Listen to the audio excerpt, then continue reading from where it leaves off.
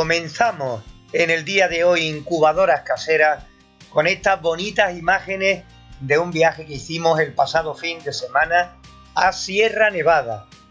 Está situado en Granada, otra de las diferentes provincias de nuestra región, Andalucía. Y con ello queremos comenzar el vídeo de hoy.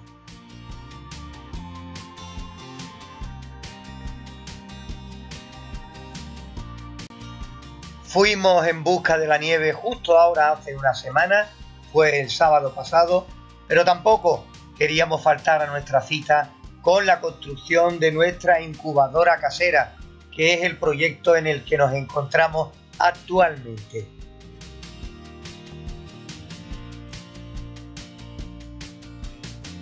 Bonitas imágenes de un sitio espectacular, Sierra Nevada, que he querido compartir con vosotros en el comienzo del vídeo de hoy en la construcción de nuestra incubadora casera, en este proyecto en el cual estamos involucrados actualmente y que supone ya con este el tercer vídeo en la construcción de lo que será una incubadora que pretendemos usar en más de una ocasión y mostraroslo todo en nuestro canal de incubadora casera.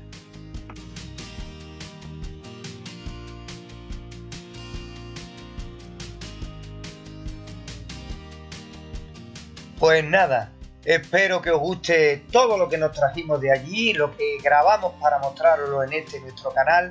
Y dicho esto, al final pondremos otras cuantas imágenes que tenemos todavía por aquí de Sierra Nevada para despedir el vídeo. Pero ¿qué os parece ya si entramos de lleno en lo que nos interesa y es darle un buen avance a nuestra incubadora casera? Vamos con ello, manos a la obra y ya digo, hoy vamos a darle un buen empujón para terminarlo en las próximas semanas.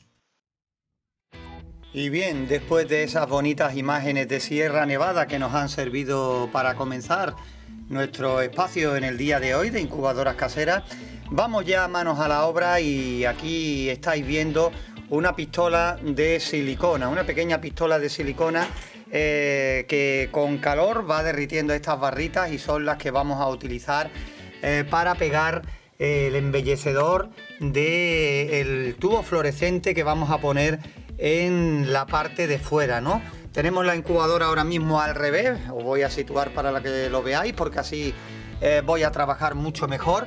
Y es lo que vamos a hacer hoy para empezar, el afianzar eh, esta tapa dañada para dejar lo más bonita posible esta parte y de aquí pues la luz al interior de nuestra incubadora. Hemos sellado esta parte de fuera, mirad qué bien queda. Si tiene una ventaja es que pega muy fuerte y que seca muy rápido. ¿Vale? Se aplica en caliente, lo digo para por si hay alguien que no haya utilizado la silicona así en caliente con esa pistola.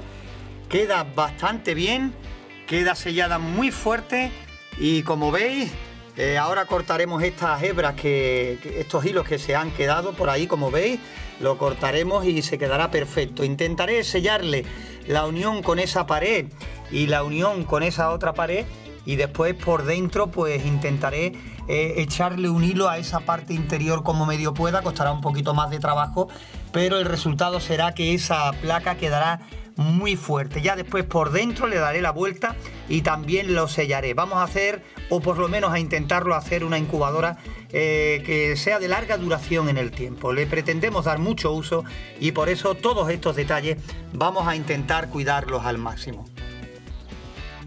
Y bien, ya tenemos ahí la silicona completamente fría y la placa totalmente sellada. Hemos tapado los orificios, como veis, sobre todo en los laterales que era donde más hueco había para que se escape el menor aire posible caliente y ha quedado bastante bien sellada, ¿no? Ya después si queremos ponerla más decoradita, pues con un cúter le cortamos más derechito y prácticamente quedará mucho mejor. Pero ya digo, quedará en la parte de arriba, ahí irá ubicado el tubo fluorescente, la luz para el interior y tampoco va a quedar demasiado a la vista. Ha quedado fuerte y también por aquí que estaba un poquito astillada, que estaba un poquito rota, hemos echado más en los extremos, no sé si se verá con la imagen, para evitar que se corran estas grietas, estas rajas y este embellecedor que viene evidentemente a medida porque es el que traía de fábrica no se nos deteriore más y no tengamos que poner algo que será un añadido y no quedará seguro igual de bien. Esto todavía lo podemos perfeccionar, pero lo importante es que se haya quedado bien apretado, bien fijo y que nos sirve seguro para un largo periodo de tiempo. Pues bien, ya hemos dejado sellada de aquella manera la parte clara donde va a ir el fluorescente en el interior y ahora hoy es plan de dedicarle un poquito al exterior, ¿no? A la parte de arriba que tenemos destapada porque la parte de arriba la tuvimos que cortar para que no fuera tan grande. ¿eh? En la parte de arriba nos sobraba un montón de espacio, aquí va, como veis, el termostato, le vamos a poner un termómetro higrómetro, algunos interruptores para controlar todo desde fuera no necesitábamos más. Entonces con esta tira que le dejamos, le cortamos con la radial y aquí ahora lo que vamos a hacer es ponerle esta tapa de madera.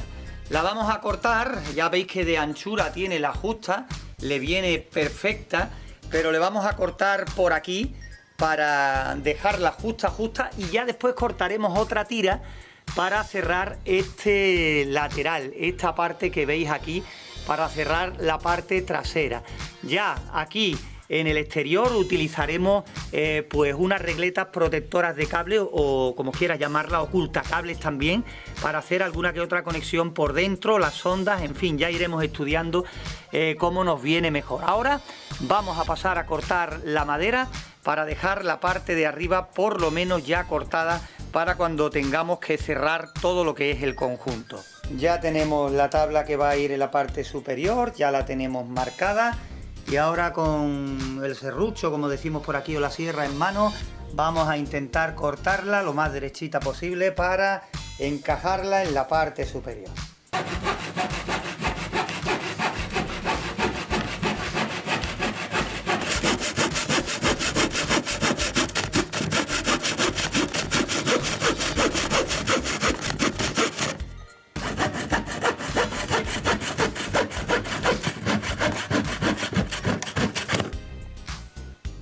Y una vez cortada la tabla, ya veis cómo queda, está encajada, no está todavía atornillada ni mucho menos. Y bueno, después comentarte que al final pues pintaremos la incubadora, no sé de qué color, eh, posiblemente la pinte roja, así color granate, como el símbolo de la incubadora que tenemos puesta en nuestro canal. Eh, quizás la hagamos así y así también van a juego con las bandejas de volteo automático que tenemos en el interior, ¿vale? La hemos cortado así justita, como veis, con una sierra de mano, con un serrucho. Esto ya le pasaremos la lija. Y ahora lo que sí vamos a hacer es eh, mirar para cortar una tira a esta anchura para dejar ya eh, sellado esta parte trasera de la incubadora, ¿vale? Ya esto se le puede pasar una lija cuando ya esté todo bien puesto para rematarlo y que quede más o menos fino, pero que yo creo que cuando pintemos el conjunto va a quedar bastante bien, ¿vale? Si la pintamos en un color granate, le matamos la publicidad que trae de casa y la dejamos que parezca un poquito más profesional, entre comillas. ¿Veis? Esta parte trasera eh, la estoy sujetando yo con una mano, cortaremos más o menos a medida, ya de larga no nos va a venir bien porque como veis tiene estos dos laterales que van a cortar un poquito el espacio, pero que encajada eh, ya después la mediremos, cortaremos, haremos la misma operación y dejaremos este trozo también cortado para cuando nos pongamos con los tornillos y demás, pues la dejemos completamente cerrada una vez que hagamos las conexiones, pero que eso será en vídeos posteriores.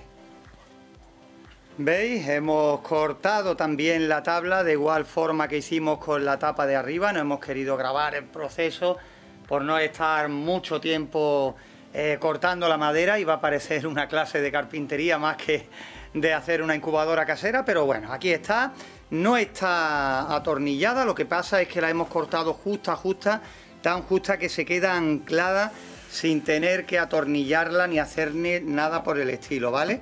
Ya después atornillaremos esta parte y aquí hay una chapa cruzada, pues atornillaremos aquí para que tenga fuerza y no hará falta ni, ni atornillarla en los laterales, simplemente arriba y abajo con dos, tres tornillos arriba y abajo quedará bastante sujeta. Ya después haremos un agujero eh, a medida de, los cables que tengan que entrar y salir y lo sellaremos con silicona para que no haya escape de temperatura.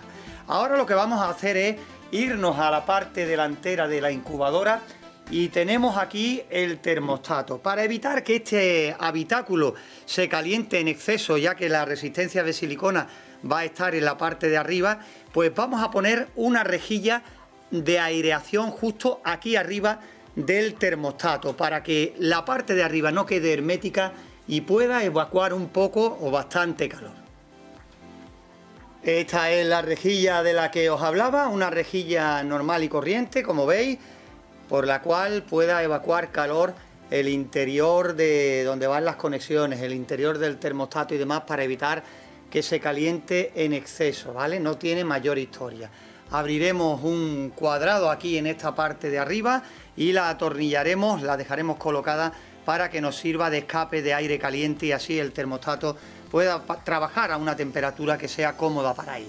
Aunque también te digo una cosa, estos termostatos vienen preparados para trabajar a 50-55 grados de temperatura y no representaría un mayor problema. Pero eso sí, mientras más fresquito trabaje, pues mejor que mejor. ¿Veis? Quedaría de esa manera, justo encima del termostato y quedaría también bastante bien a la hora de pintar la incubadora. A mí me gustan los contrastes mucho y una vez que pintemos la incubadora de color rojo o granate, ese color metálico, eh, gris metálico, color aluminio, quedará bastante bien. ¿Que queréis pintarlo cuando esté terminado? Pues exactamente igual, se quedará camuflado con lo que es el conjunto y no se llegará incluso ni a notar.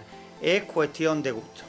Con esta parte que ha sido más de carpintería que de otra cosa en el día de hoy, damos por finalizado este avance que hemos dado a nuestra incubadora casera en este botellero con puertas de cristal. Nos hemos dedicado a cortar la tapa, la parte trasera y a añadirle esa chapa que servirá para evacuar el calor del interior. Y por supuesto también hemos cogido en el interior y hemos cogido lo que es el embellecedor y lo hemos sellado con silicona para utilizarlo y no tener que poner eh, otro artefacto u otra chapa que pueda dar otro aspecto al interior de la incubadora. En fin, por hoy aquí damos por finalizado el montaje de nuestra incubadora. Poco a poco, paso a paso, vamos acabando en cada vídeo un poquito más nuestra incubadora casera automática con doble bandeja de volteo. En fin, por hoy vuelvo a dejaros con unas imágenes de Sierra Nevada, para mí unas vistas espectaculares y emplazándoos al siguiente vídeo el miércoles donde volveremos con las variedades que os vamos mostrando los miércoles y por supuesto el próximo sábado daremos un buen avance, te lo aseguro, a nuestra incubadora, hasta el punto de dejar terminado casi todas las conexiones del termostato, que es algo también que puede resultar interesante. Y eso que ya lo hemos hecho en otra ocasión. Un saludo y hasta el próximo vídeo.